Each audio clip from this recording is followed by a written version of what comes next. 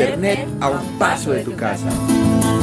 Bienvenidos al corregimiento de Eufemia, municipio de Frontino, departamento de Antioquia.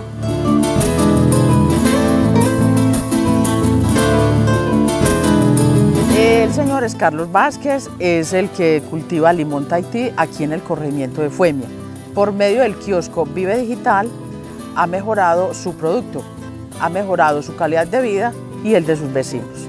Yo bajo a la limonera, camino todo por allá y miro qué es lo que necesitan los palos. Yo vengo al computador y busco ahí por para, para fumigar, para las abonadas, para las podas. Entonces yo busco en el computador y ahí me sale, porque uno ahí busca lo que, las enfermedades que tenga, lo que, para los venenos que uno necesita. Entonces ya uno aplica lo que ahí le dice a uno. Y el veneno, los venenos para fumigar, para, para matar, por ejemplo, los ácaros.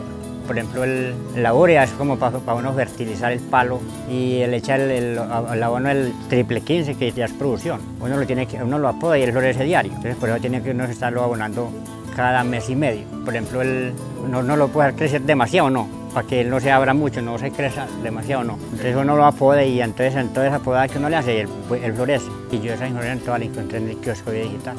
Desde lugares pequeños se hacen grandes cosas, como el cultivo de limón Tahití del señor Carlos Vázquez. Tecnología en la vida de cada colombiano. Vive digital para la gente.